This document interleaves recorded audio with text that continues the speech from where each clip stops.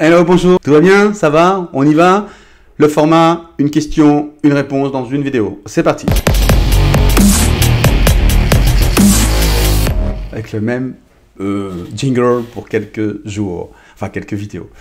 Alors Jacques, Jacques pose une question, euh, sont-elles pigmentées? Solides à la lumière Alors il dit pas bonjour, il dit pas au revoir, il dit pas merci, il dit pas j'aime, j'aime pas.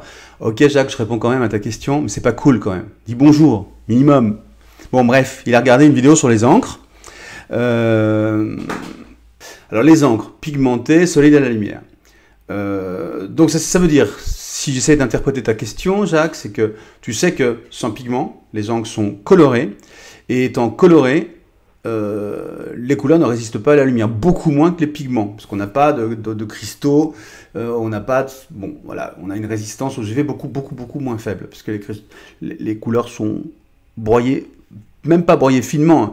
elle teinte le jus. En fait, c'est comme quand on fait un, se fait un café, je vous l'ai déjà dit ça, un café avec un filtre. Bah, le café, euh, voilà, l'eau elle passe au travers, elle prend le café, bref, elle se teinte, mais il n'y a pas de pigment, euh, il n'y a pas de dépôt après dans votre tasse, très peu.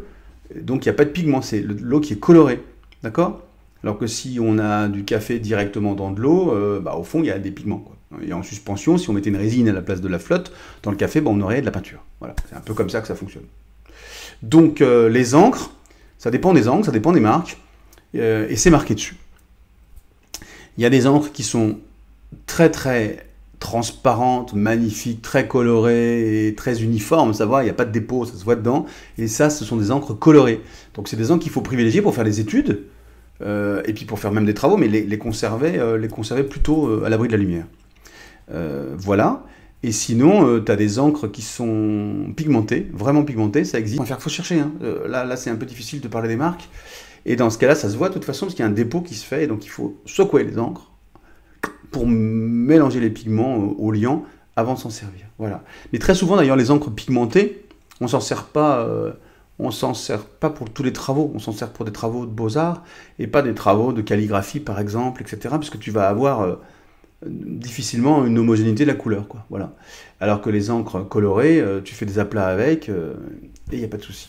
J'espère que j'ai été clair, Jacques. Je vous souhaite une super journée et je vous dis à tous à très bientôt.